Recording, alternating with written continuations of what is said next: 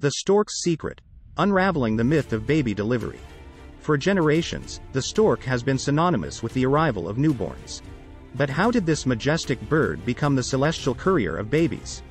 In this whimsical exploration, we delve into ancient legends, cultural symbolism, and the curious evolution of the stork's role in our collective imagination.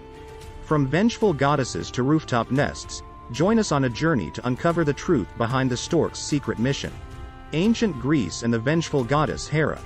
According to one popular account, the myth traces back to ancient Greece.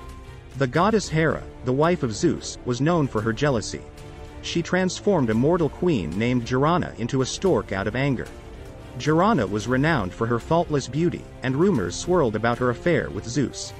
In her stork form, Gerana was forced to fly away, and the Greeks depicted her with a baby dangling from her beak. However, interestingly, the original myth described the baby snatching bird as a crane, not a stork. The confusion between storks, cranes, and herons muddles the ancient origins of this tale. European medieval literature and the pelican connection.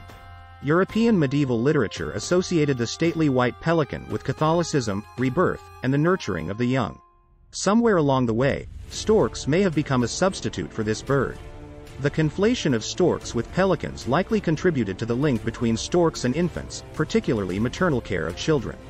The stork's image is a symbol of good parenting behavior, combined with its large size and prominent nests near human dwellings, reinforced the association with babies. Storks and their nests. Storks are big, white birds often associated with purity. Their nests are large and conspicuous, often perched close to where people live. In the Netherlands, Germany, and Eastern Europe, storks nesting on rooftops were believed to bring good luck and the possibility of new birth to the family below. Thus, the myth spread that storks were responsible for bringing babies. The legend of storks delivering babies. In the 19th century, Hans Christian Andersen collected the legend of storks delivering babies in his tale titled The Storks. The legend evolved, suggesting that these birds brought children from Paris.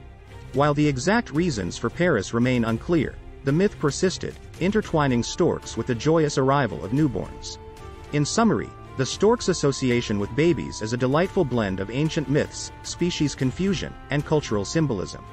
Whether they truly deliver babies or not, storks continue to evoke wonder and whimsy in our collective imagination. While storks may not ferry infants from Paris or any other city, their enduring association with babies continues to captivate hearts.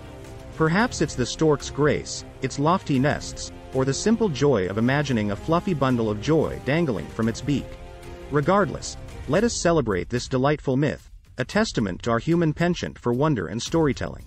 Thank you for joining us on this whimsical adventure. If you enjoyed this exploration, consider subscribing to our video for more enchanting tales and curious discoveries. Until next time, may your days be as bright as a stork's wingspan.